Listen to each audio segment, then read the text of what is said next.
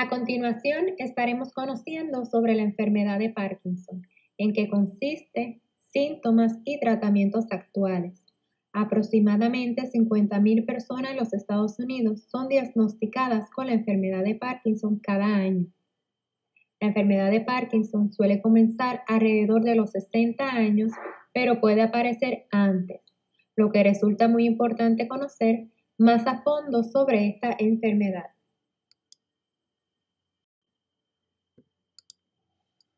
¿Qué es la enfermedad de Parkinson? La enfermedad de Parkinson es un trastorno degenerativo del sistema nervioso central que pertenece a un grupo de afecciones conocidas como trastornos del movimiento. La enfermedad de Parkinson ocurre cuando las células nerviosas, neuronas, no producen suficiente cantidad de una sustancia química en el cerebro llamada dopamina.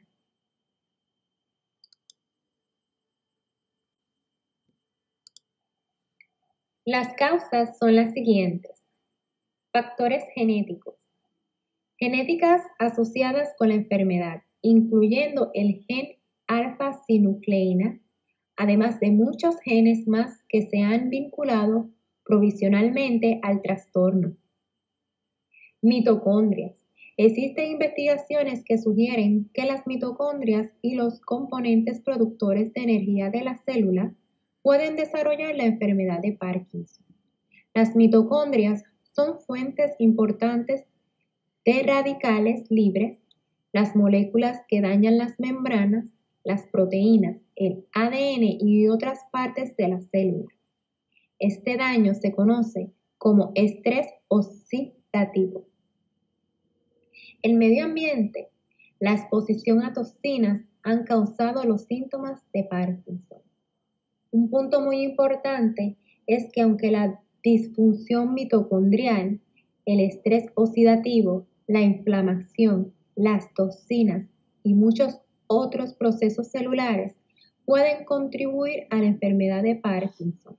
La causa real de la muerte o pérdida celular en dicha enfermedad sigue sin determinarse. Síntomas. Temblor en las manos, los brazos, las piernas, la mandíbula y la cara. Rigidez en las piernas, los brazos y el tronco. Lentitud de los movimientos, problemas de equilibrio y coordinación. Un punto importante, los síntomas de la enfermedad comienzan normalmente en un lado del cuerpo. Sin embargo, con el tiempo, la enfermedad afecta ambos lados. Incluso después de la enfermedad afecta ambos lados del cuerpo. Los síntomas a menudo son menos fuertes en un lado que en otro. Tratamientos.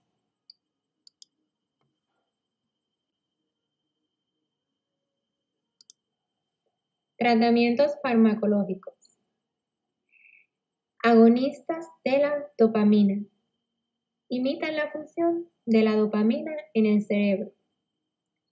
Inhibidores de la MAOB. Estos inhiben la enzima monoaminosidasa B o la MAOB que descompone la dopamina en el cerebro.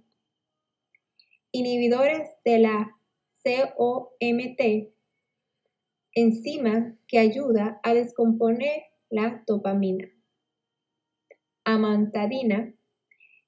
Estos ayudan a reducir los síntomas de la enfermedad de Parkinson y la disinesia producida por la levodopa. Los anticolinigéricos, estos disminuyen la actividad del neurotransmisor aceticlolina y puede ser de particular eficacia para el temblor. Cirugía. Palidotomía y talamotomía. La palidotomía, el cirujano destruye selectivamente una porción del cerebro llamada globo pálido. La palidotomía puede mejorar los síntomas de rigidez, temblor y bradicinesia al interrumpir las conexiones entre el globo pálido y el cuerpo estriado, el tálamo. La talamotomía implica la destrucción quirúrgica de parte del tálamo. Este se usa principalmente para reducir el temblor.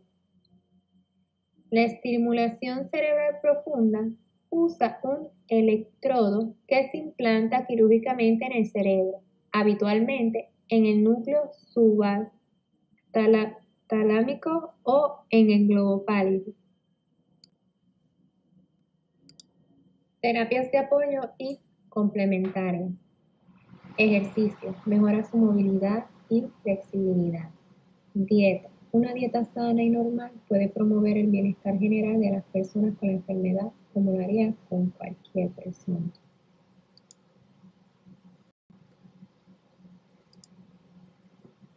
Actualmente no existe una cura para la enfermedad de Parkinson. Los medicamentos o la cirugía pueden mejorar los síntomas motores. También se recomienda los grupos de apoyo para poder sobrellevar esta enfermedad y brindarle una ayuda a los pacientes con el estado emocional que en muchas ocasiones las depresiones vienen acompañadas con enfermedades.